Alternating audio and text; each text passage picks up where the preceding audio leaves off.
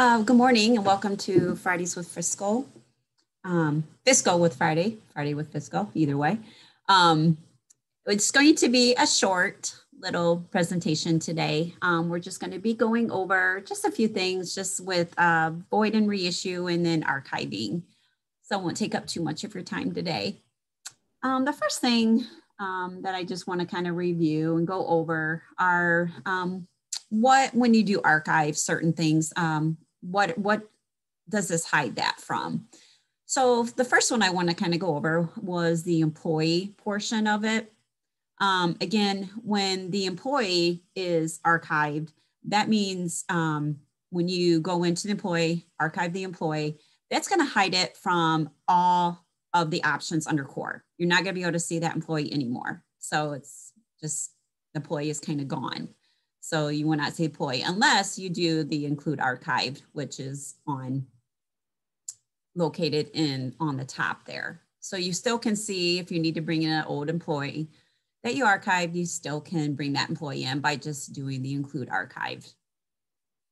So they're still out there, they're just kind of hidden. On the next one um, would be for like the employee's position. This one will hide it from um, certain options components in the um, on the software. So if you're archiving an employee's position, um, it's going to hide it from the new contract. Um, so they won't pull into the new contract. Um, if they're trying to add attendance days for this employee, it won't show on that. Um, in the EMIS entry, which is underneath the core option, it won't show in there either. And then when you're trying to pull in an employee through current or future to add them, you're not going to see them there also. Um, the payroll processing, um, any of the pay reports, you're not going to see them there. The tax estimator, the benefit obligation reports, um, any of the EMIS position reports, and then any of the wage obligation reports. So when you hide that position, for that employee. Um, the employee is still marked as reportable, but the position is um, will hide from all of these. And again, these we do have these all listed in our documentation under position. So if you ever have questions where what it's hiding, you can just go to uh, position and archive positions. And it does show that all right here. So if you ever have questions, it's available to you. And again, if you want to include that employee's position to view it, you, again, you can include that um, on the um, include archive, which is just like the employee is um, included at the top. So you can just bring that employee in if you want to just see that um, archive um, position for that employee. On the next one, um, it would be the compensations. And again, we have this in our documentation. So if you ever have questions, we have that right out here at the top. Um, what, what, components does it hide if you're um, archiving a compensation for the employee? So you have your, again, your new contract is not going to pull, pull, um, pull in that compensation. Any attendance for that compensation, EMIS entry, and again, current or future, so we'll not pull that employee. So if you have old compensations and you don't want to see them when you're bringing them in, when you're going into future current, you can go ahead and, and archive that. So that way it won't show on that drop down when you're trying to pull those employees in. And it doesn't get confusing if they do have old compensations, like three records for the same one, um, you can go ahead and hide that um, the payroll processing and pay reports. So again, these are the components that will be hidden when you have a compensation that is archived. And again, you can bring in and show any employees that have um, their compensations archived by just including the include archive. So again, I just want to kind of go over that, that those are out there. Is so if you ever have any questions of why an employee isn't showing or something, um, you might want to look here in the archive um, section first to see actually what it's going to hide. Okay. Any questions on the archiving? Not too much on that, just kind of going over what those do. Hey, Andrea. Yes. This is Andrew with WOCO. Hey, something came up in uh, training we were having with districts the other day. Okay. And that is that at the beginning of the school year, you've got people with two compensations. Correct. One is still on because it's for, EMIS, and the Okay. other one is on because it's the one being paid. Correct. But in that in that situation, how they're having a hard time figuring out in future current. It. Yeah. Which one when you're in current and future? Yeah, and Yes, I mean good it. Um, question. yeah, it errors if they pick the wrong one, but like, how can they tell before that? Okay, good question. What we were suggesting to employ or to districts and ITCs is um like here, like this drop down box. You might have several one, you know, several different ones for position one. And he's asking, how do you, you know, tell which one you're supposed to be, the old one or the new one, but you have to keep them open for EMIS reporting. Um, what we're suggesting is in compensation, if you go to like an employee that has multiple ones, I don't know if I have any here in my test account, but just for, I'll just grab one just so you can see. Um, label. This is what you're going to want to use. Um, what we suggest is every year for fiscal, like fiscal year, do FY 2021. So when you put that label in there and go, and then when you go to the current or future drop down, it's going to show that label in there. So they'll be able to tell then by that which one is the current one. So the old one could be fiscal year 2020, the new one for this year's fiscal year 2021, and then so on. You can do that for each year because obviously the position's not going to change the name, but again, the contract is different for each year and you don't want to pay them on the wrong one. So that is where they can put that in and update that. Okay. So label doesn't that that doesn't print anywhere like on um I don't slips? believe it, it is under because the description I believe is the what prints on the pay stub and the label is what is going to be under the current or future. Okay, But I let me look at that because I thought it was the I thought it was the other way around, but I could be confused because I'm not looking at it right now. Okay. Well, let me let me change one here. Let's just try it. I thought this is what we, we had just discussed yesterday in our meeting. Zero, zero, two. All right, for one. And if I'm wrong, then I will definitely get back to the programmers and we'll get you an answer. So, so let me go ahead and look at that. And we'll go ahead and do future. Great. And one to zero two. That's my employee. Yes. Okay, cool. So that's what shows up there. I guess my the second question is is that also then what shows up on their pay slip? I will, let me look because I know I have that in. That if it doesn't, then that'll be perfect. That'd be perfect. Okay, let me look here because I know we have this in documentation what the label will show. And if that is it, so you're saying you want that to be good for the current future, but you don't want that to show on the actual.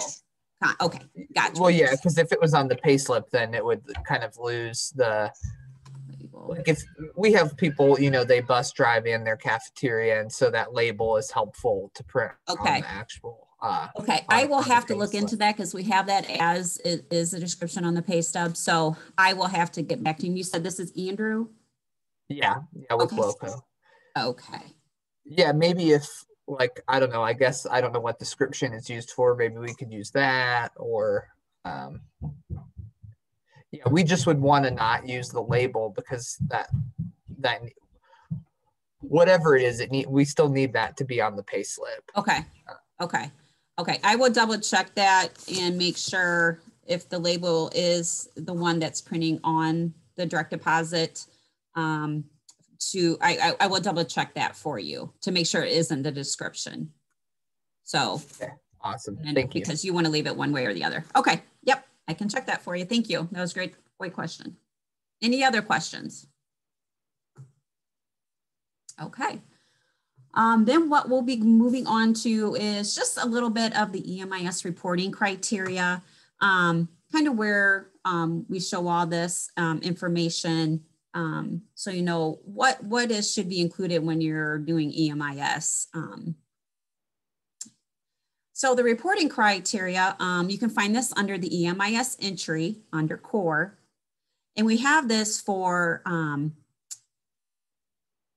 what if the uh, employee is archive employee. So again, going back to the archive. So for the SIF data collector, um, if the employee is archived, then that's going to hide it from everything. It's not going to pull into SIF, SIF uh, into the collector at all. The positions or compensations, neither of them. So that hides it from everything and it hides it from the collection also. So it's not going to pull in. But if the individual compensation is marked as archived, but the employee is still marked as um, reportable and, and is reportable to EMIS and not archived, then that compensation will not get pulled in, just the employee side of it. So it will only pull the one side of the employee, but it won't pull any of the positions or compensations into the SIF data collector. Um, how do compensations um, get included on in the report? Um, again, you need to have um, compensation start and stop dates um, within the current fiscal year. And you want to make sure your start and stop dates are within the prior fiscal year, has a position separation date, is the prior fiscal year and also has a separation reason. So that is how your compensations get reported. And also they have to be um, flagged to be reported as to EMIS. Um, another one is you want to make sure maybe the hire date is entered because I did have a ticket a while back um, where the hire date wasn't entered in the position screen and this was causing an error. And all it was saying was missing value for position start date of 2021. And what we found out that um, it was a position um, on the on the position screen um, to make sure they have a higher date entered on that also, because it will flag an error. Um, some other ones some other ones that we do is uh, employee marked as reportable to. So if the employee is marked as reported to EMIS, then the employee will be included on the collect employee CI information. So, and so that is just the employee side of it. And then the position compensation is the CK record. Um, they are all collected separately. So the position compensation is marked is not reportable. And again, that will not be included on the collection. For the EMIS reporting configuration, um, every time um, the reporting year changes, this is the first thing that the districts um, are going to want to make sure they go ahead and do. And they want to go under the configuration and make sure that they change that reporting year. Because sometimes when they start running the reports and they're not, the, the, the people are not pulling in correctly or not, some are missing. Usually this is what it is, is that the fiscal year has not been changed to the new reporting year.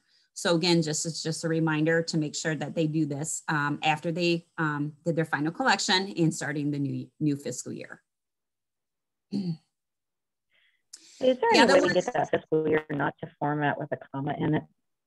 Um, oh, yeah, we do me. have, yeah, we do have a JIRA issue out there for that. Um, okay. Yeah, I know it does look kind of odd, doesn't it, with the comma in there? But yes, we do have a JIRA issue out there for that. So and and hopefully in in the future that will be changed. So, all right, thank you. Um, the next thing is the EMIS contractor CJ record. Um, if the if the reportable to EMIS field for the position, employee, or the compensation is false, then the CJ worker record will not be included in the extract.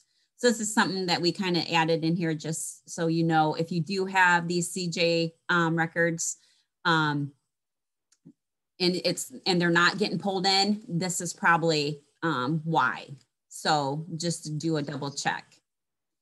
Um, for the contracted service of the CC record, again, if the reportable to EMIS flag on the CC record is not marked, it will not be included in the extract.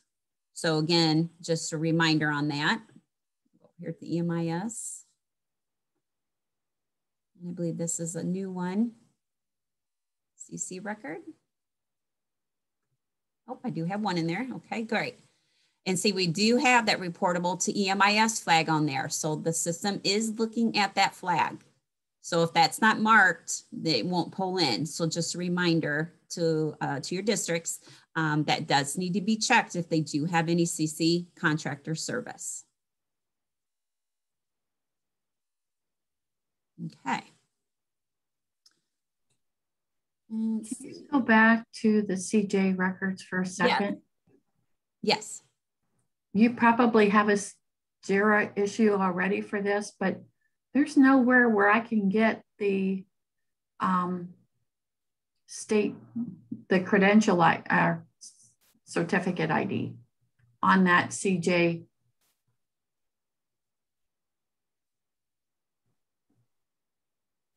So if I'm looking at the screen and I would like to include the um, staff ID, I can't get it. Okay. And that was a, I was working with a district the other day and that was really confusing that I, you know, I had to go somewhere else to find that ID. So the staff ID for the CJ is, okay, It's not on there. okay. I don't see it there. Okay. All right. Staff ID on the CJ data record. Okay, Thank you. you're welcome. I will add that to my notes also. Look that up and see if we might have a JIRA issue out there open for that, and then I will check, so. And I'm sorry, who was this asking? Brenda from Neon. Brenda. Okay, thank you, Brenda. Okay. All right. Any other questions on EMIS? Okay. Um, let's see, we'll move on to our next one. Um, this is just some things since I didn't have too much to go over. I just wanted to add a few other things in here. Um, if you're doing a mid-year contract change, we also want to make sure um, because those are kind of treated differently when you're getting pulled into EMIS reporting.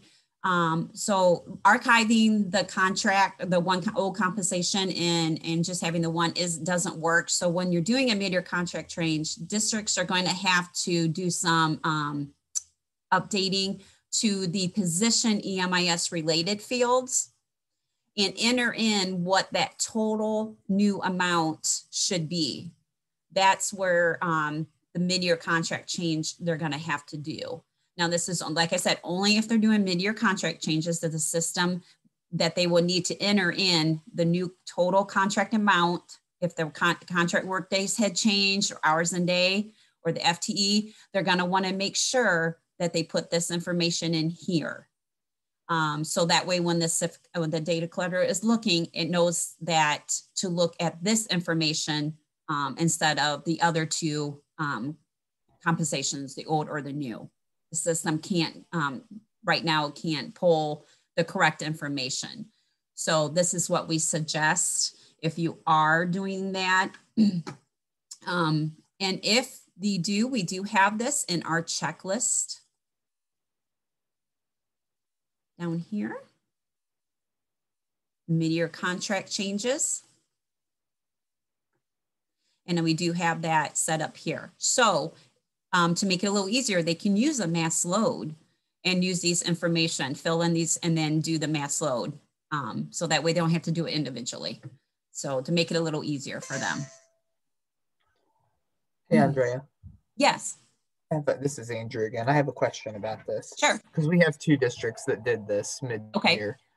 Um, so on the new compensation, so the compensation that you know after the mid-year has taken place, Correct. the the contract amount field on the compensation that is not used for anything for comp for calculating correct it's obligation that feeds into the paper period and all that stuff Correct.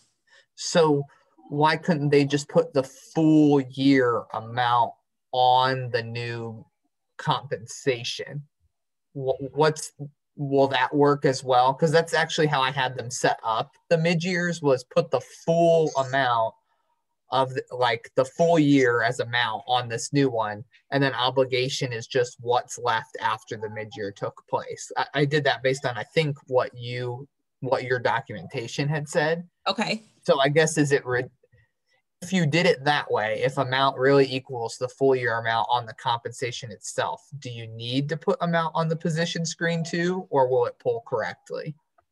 I will have to look to see where EMIS is pulling from that compensation. I'm assuming it's pulling Okay. from the contract amount. So you're saying you're putting the full correct amount on the contract amount in compensation, correct? Yeah, and I did that actually based on I think the documentation on, Okay. in the wiki on the mid year because it's it basically it was saying contract amount is informational and obligation is what feeds into all the calculations.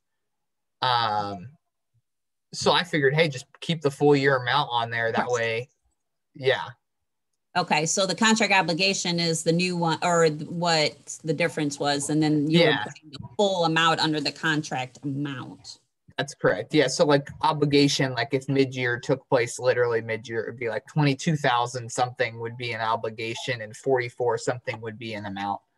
Okay, Yeah, so they I wouldn't think, match each other for the on the second one, on the new one, they wouldn't match each other. And so then you could just mark the old one as not reportable okay, and the new gotcha. one as reportable and hopefully i guess that's my question is when it when you're not using those override fields is it pulling from obligation or is it pulling from amount I thought it was contract amount. I didn't think it was looking at the obligation, but I would have to check with Andy um, on the software to make sure where exactly EMIS is pulling from.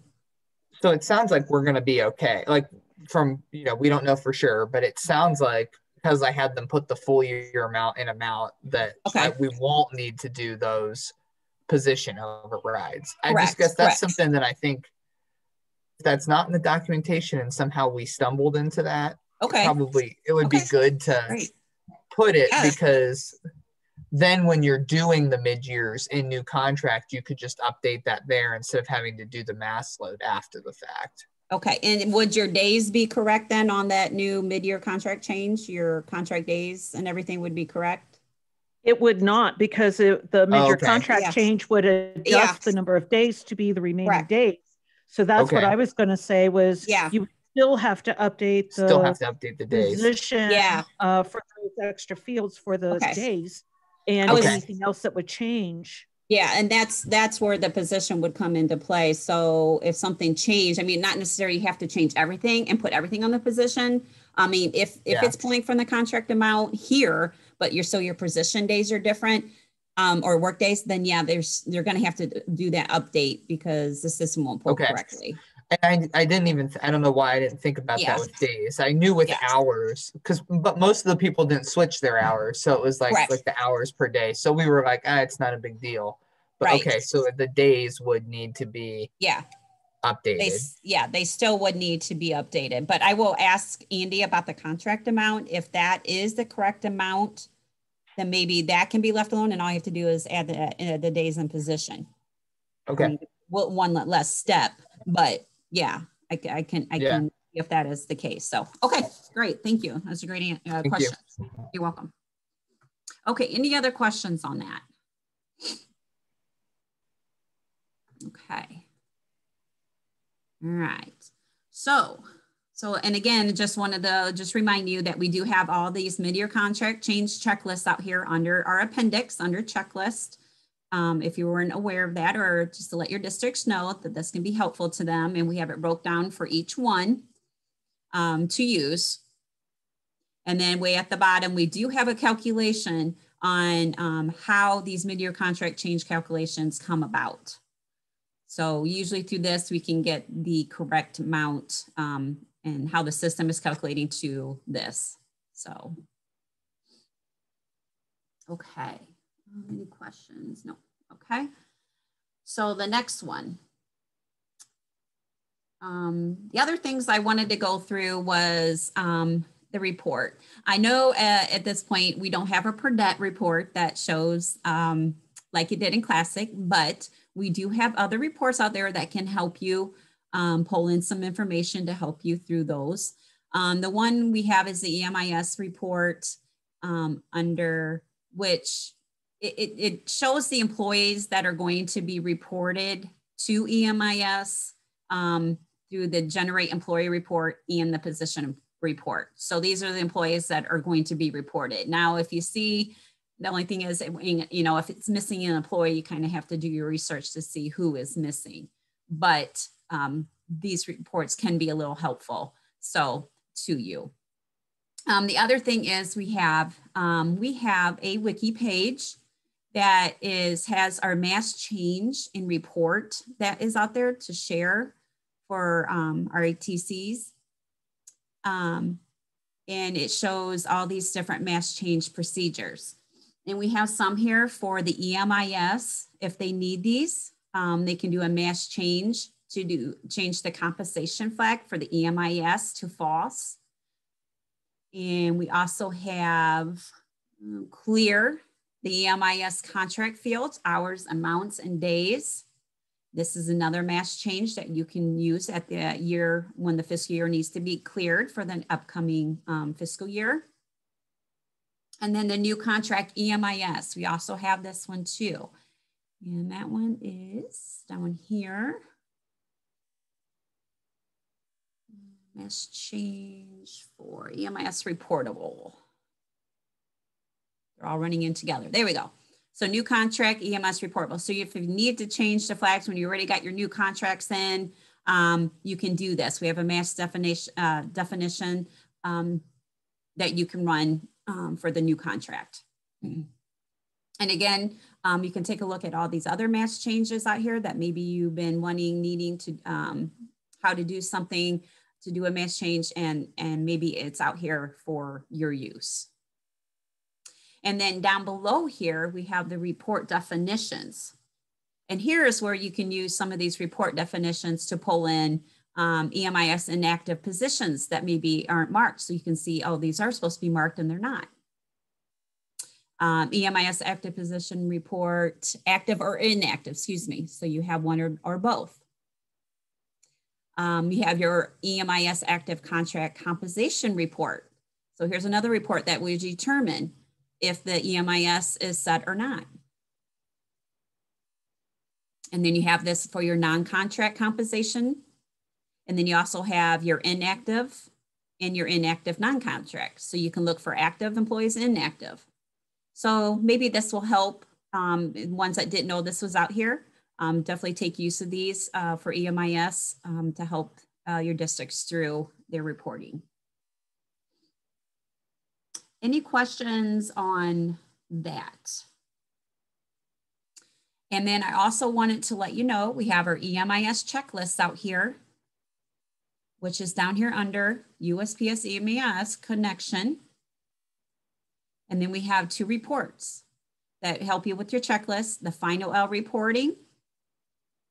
And then we also have our new fiscal year initial L reporting checklist. Okay. All right, so next on to our void and reissue.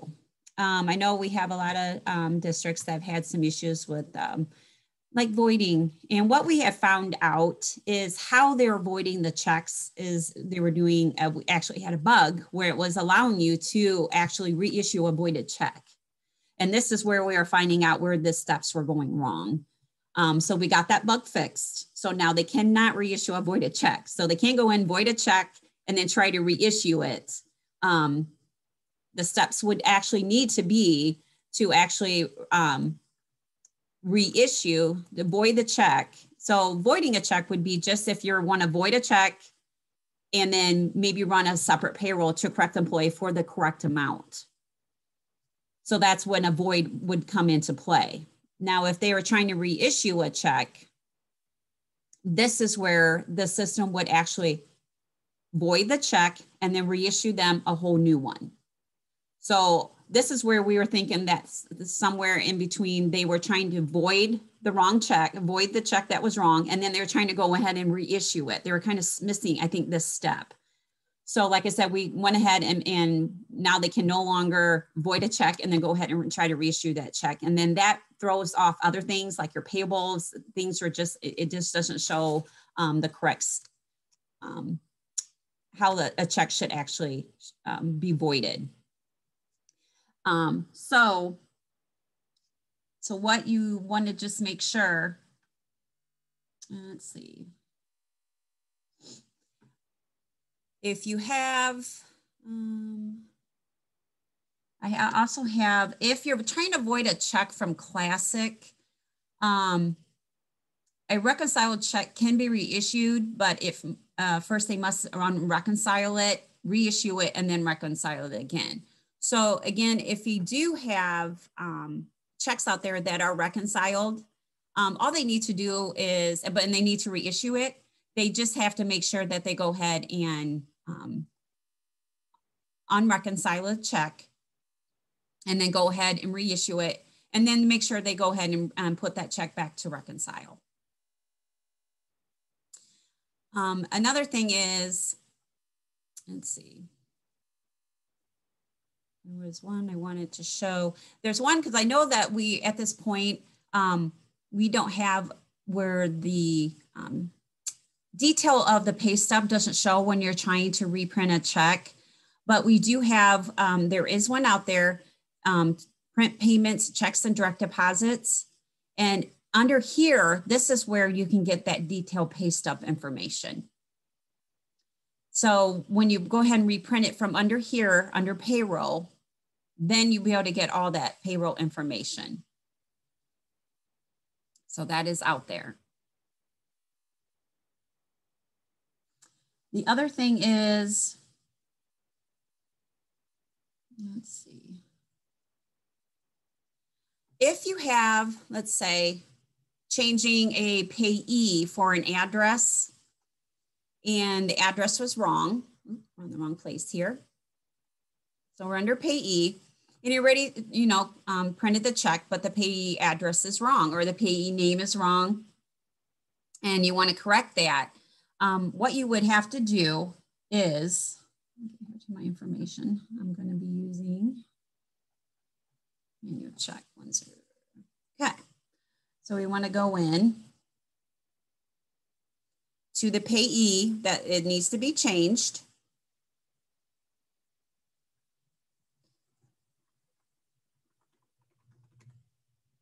Stillwell Industries. Oh, spell that. There we go. You want to go ahead to the payee.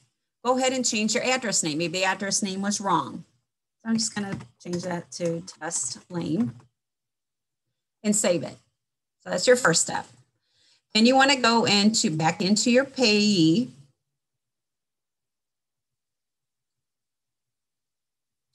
And then you want to go ahead and void the check.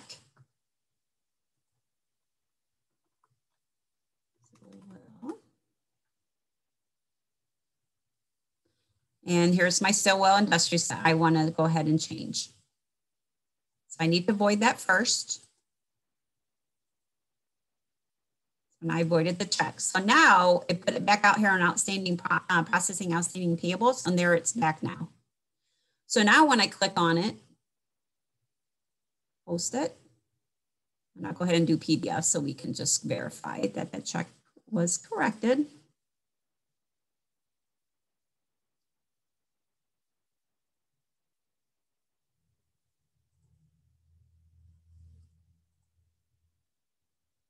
Okay, so when we bring that check up, now it's 66 test lane. So that is how you can go ahead and change a voided check and correct uh, correct the address, void it, and then go ahead and add the new um, puts puts it out on the payables, um, repost it, um, and then you have a new check with a new address. That's pretty nice that that option is out there. Um, Again, if you're voiding and reissuing same payee payable, so it's considered like um, if you ran a payable and you have five checks and they're going to the same place, but you accidentally forgot to put them together. Um, again, you can do this same scenario, change the payee for all the payroll items. So make sure they have the same payee and address. Then you go in and void all the checks, all those five checks that you want to be able to put on one check. And then that will put it back on outstanding payables. And then it will select, um, then you select that and post it and it will create one check. So that option is out there too. And I believe we have this under our appendix out here.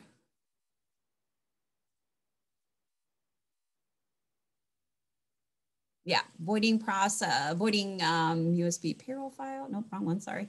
Let's try that again. There we go. So, and here's the option um, for the voiding of payroll checks and so that would be payroll checks. I have that out there, just don't know where that is. Hmm.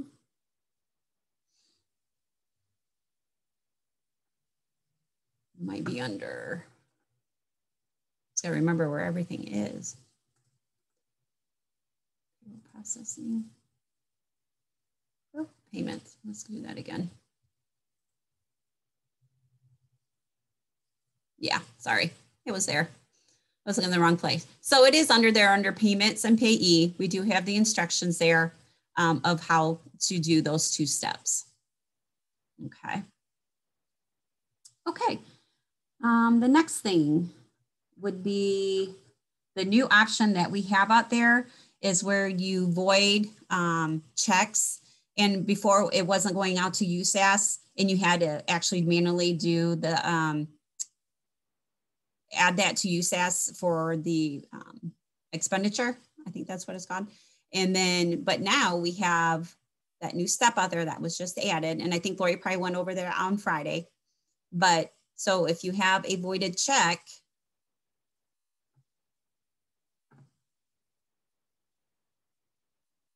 so let's go ahead and we'll void.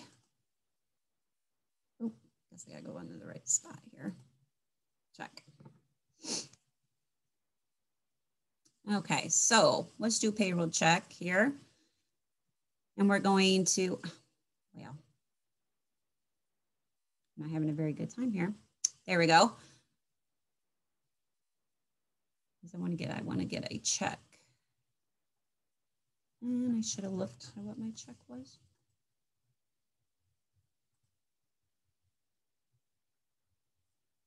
There we go.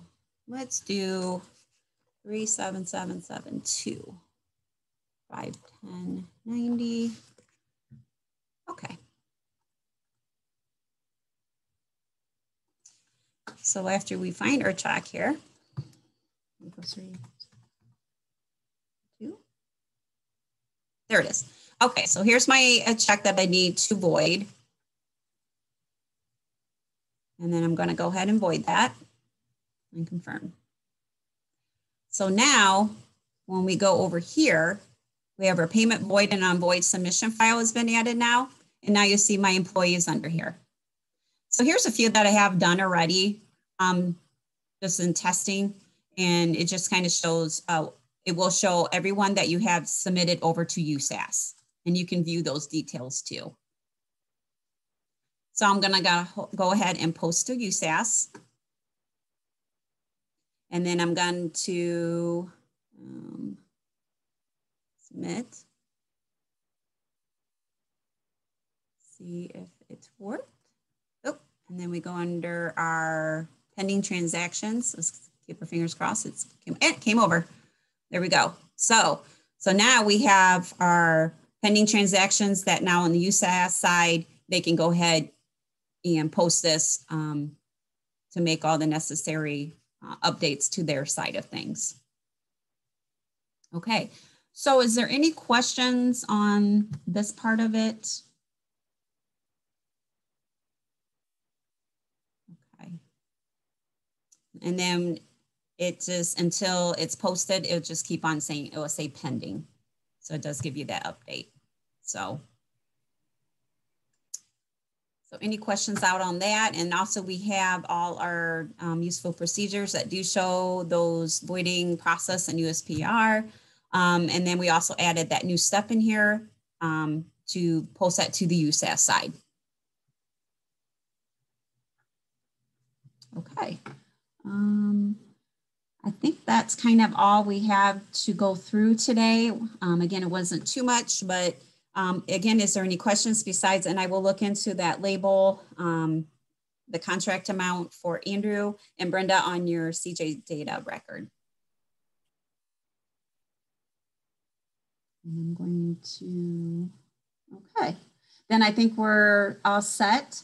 Um, again, thank you for joining me today. Um, and I hope you have a great weekend. Thank you, Andrea. Thank you. Welcome. Thank you. Thank you.